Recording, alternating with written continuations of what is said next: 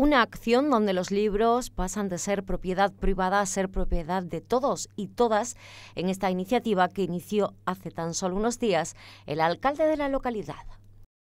A través de la iniciativa de los ciudadanos de Torremolinos que puedan dejar un libro en cualquier parte, cualquier zona de nuestra ciudad, será posible que otro ciudadano pueda coger ese libro, leerlo y ponerlo una vez lo haya leído a disposición de otro posible lector. Se trata de alguna de las obras que durante nuestra vida ha significado, ha tenido un interés o una influencia en nuestra vida, en nuestra forma de concebir nuestra, nuestra vida y nuestra profesión, nuestra actividad, algo que haya influido realmente en cómo pensamos,